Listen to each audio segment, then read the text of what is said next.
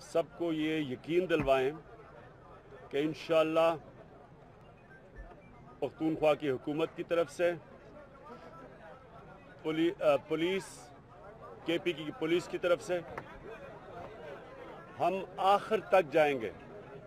یعنی ہم کوئی جو بھی اس میں ملوث تھا، اور یہ اب واضح ہو گیا ہے کہ یہ توہین رسالت نہیں تھی، یہ ایک سازش تھی مشال خان کے خلاف ایک سازش تھی۔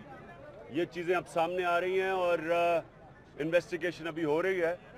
ابھی تک گرفتاریاں بھی کر لی ہیں ان لوگوں کی جو جو جو اس قتل میں شامل تھے اور جنہوں نے سازش کی تھی۔ اور انشاءاللہ ان قریب یہ اب سب کے سامنے آ جائیں گے اور ان کو ہم سزائیں دلوائیں گے۔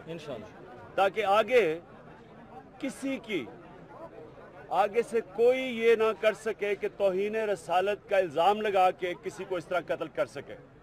یہ انشاءاللہ پاکستان میں ایک مثال بنے گی کہ یہ لوگ،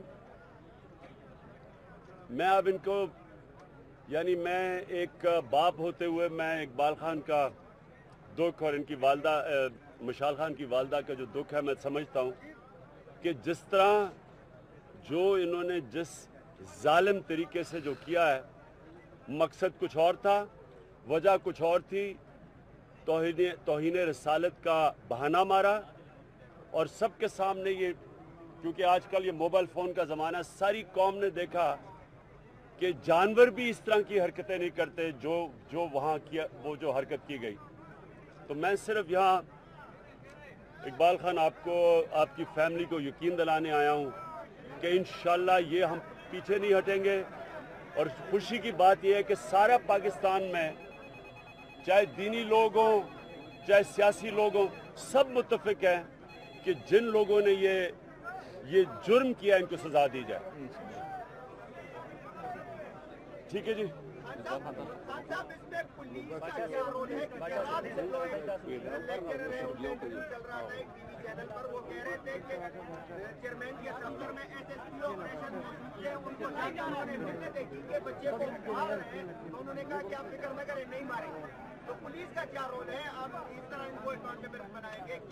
دیکھیں دیکھیں۔ سپریم کورٹ نے فیصلہ کیا اس کے اوپر سو موٹو ایکشن لینے کا، اس سے پہلے پرویز خٹک نے فیصلہ کیا تھا جوڈیشل کمیشن بنانے کا۔ آپ فکر نہ کریں کہ اس کے اوپر تفتیش پوری ہوگی، ساروں کے رول سامنے آئیں گے۔ لیکن جہاں تک اب تک میں سمجھتا ہوں کہ جو جس طرح پختونخوا کی پولیس نے ایکٹ کیا ہے، جتنی جلدی جو گرفتاریاں کی ہیں، ساری ویڈیوز دیکھی ہیں، تفتیش کی ہے، میں ان کو خراج تحصیل پیش کرتا ہوں۔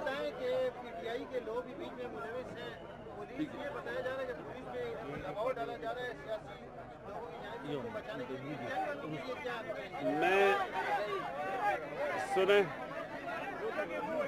چاہے وہ پی ٹی آئی کا ہو چاہے وہ جس جماعت کا ہو جو بھی اس جرم میں ملوث ہے ہم پوری زور لگائیں گے ان کو پکڑوانے میں۔